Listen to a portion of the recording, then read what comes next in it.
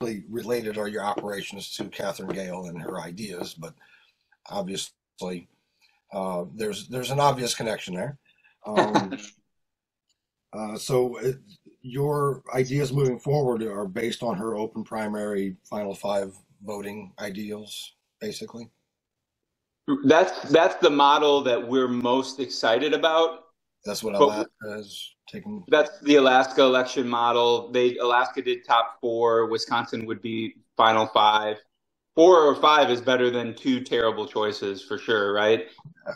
And the and the problem with the top two open primary, such as California or uh, Washington State, we just saw this happen with you know uh, Adam Schiff's campaign for U.S. Senate, where his super PAC spent over ten million dollars to handpick the weakest opponent. And if you're in a top four or top five system, you can't spend enough money to pick three or four weak opponents. It, it solves the problem of people spending money to, to try to pick the weaker opponent. Okay, that was one of my questions actually. So we're on the same wavelength there. So what are, what are the concerns about the potential of somebody dumping a bunch of money and trying to get, you know, the weakest candidate up front uh, in an open primary? But it doesn't. That that goes away basically with. It, with four with four or five people making it to November, we think it goes away. I mean, you'd have to just spend a boatload of money to try to rig a, a instant runoff top four. It, it's so much harder. You know, there's there's a, a, an Air Force veteran who teaches at the Staff College in, in Alabama. He's wicked smart.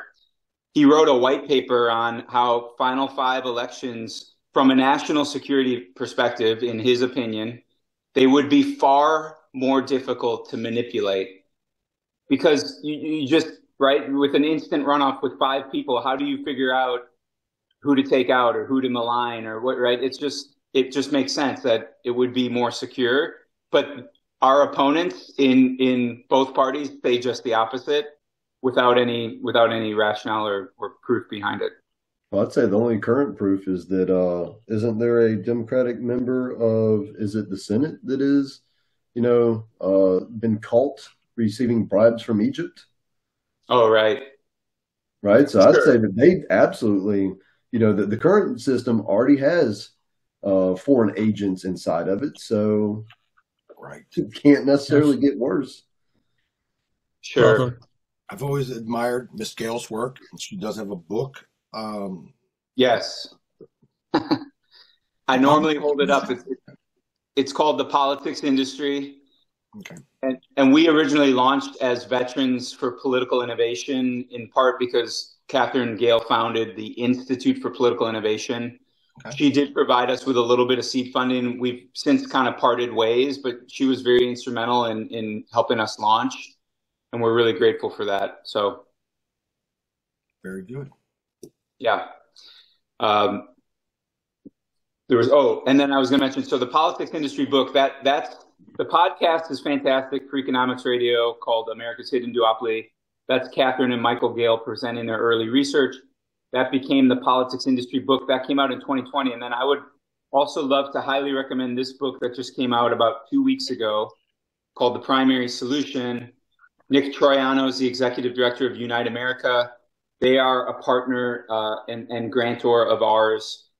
Um, the primary solution, as you might have guessed, right, it, it, it's all about fixing our primary problem. Our primary political problem, we think, is partisan primary elections, which I already said earlier. We're not anti-party. Parties serve a purpose. Parties are important. Um, we just want there to be a level playing field for every all voters and for all candidates, regardless of what kind of party they're with or, or not at all.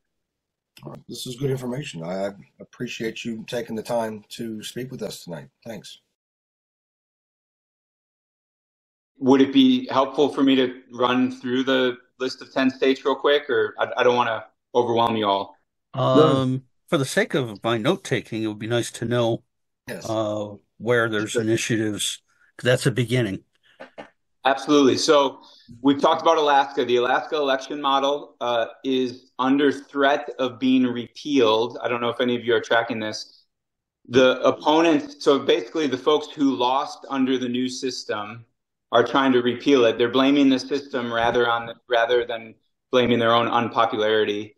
Um, so they formed Alaskans for honest, Alaskans for honest elections, and they are funneling money through a church. Um, and this is all you can read about this. There's been litigation over it of ninety thousand dollars through a church, and they call themselves Alaskans for honest elections. And they're trying to repeal the top four open. Uh, well, yeah. So, question about is it legal? So, no, tr- you know, if you're doing political activity, right, and if you're trying to do a ballot amendment, or or you, you can't do that through a, a church. Um, and so they've gotten in trouble for that, but they did gather enough signatures. We think their repeal effort is going to be on the November ballot. So, so mission number one is to defend Alaska, to get people in Alaska to vote no. If you know anyone who lives in Alaska, please tell them to vote no on this repeal effort or please connect them with us. Uh, that's number one. Number two, Nevada, I talked about, has a ballot amendment for final five voting. So that'll be a open unified primary top five finishers for each race go to November and then instant runoff voting, sometimes called ranked choice voting. Uh, Oregon has a statewide ballot amendment for ranked choice voting. If that passes, Oregon would be similar to Maine, using ranked choice voting, but inside of partisan primaries. Oregon has closed primaries, which really is uh, upsetting. You know that uh, it's somewhere around a million uh, independents can't vote in Oregon. Um, Idaho has a top four open primary ballot initiative. Montana has uh, two ballot initiatives that, if they both pass, would implement Final Four. Uh, Colorado is going to have a ballot initiative that should be announced within the next three to four weeks. Colorado, top four open primaries. Arizona has a ballot initiative for top two open primaries. Actually, it's open primaries, and then the state legislature will get to decide whether it's two, four, or five. Um, so that's an interesting one a little bit different. South Dakota has top two open primary ballot amendment, ballot initiative. Um, and then Wisconsin has led bipartisan legislation pending for final five voting for Congress only.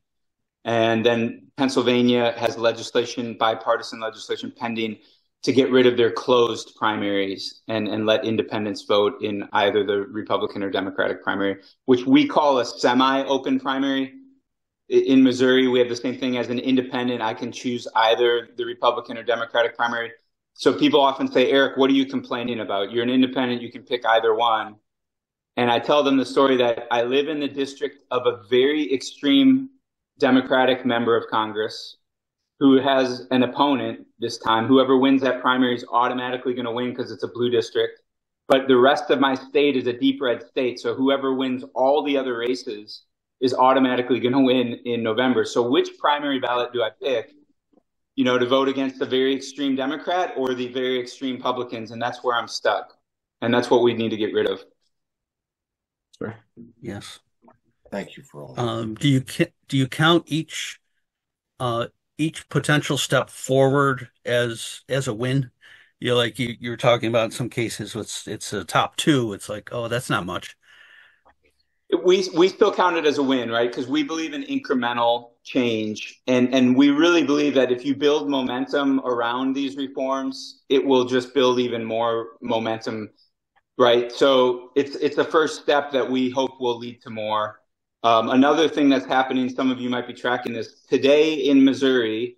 Our state legislature passed a joint resolution to make our citizens initiative process nearly impossible to use, right? So we have the ballot amendment here in Missouri. The current system, you can amend our constitution with just a 50% simple 50% majority. They now are going to change that to you have to get a majority statewide and a majority in five out of the eight districts, which means in you know rural Missouri is going to have this outsized power and and my wife's from rural Missouri. I love rural Missouri. Uh, I have nothing against it, right? But now about 30% of Missourians will be able to shoot down any type of citizens initiative based on this new plan they're proposing. So we're trying to prevent, there's a new coalition called Respect Voters, It's respectvoters.org, and they're just trying to prevent states that have the ballot initiative. It's under attack, you know, from the state legislatures who don't want people to have that that power. They want to take it away.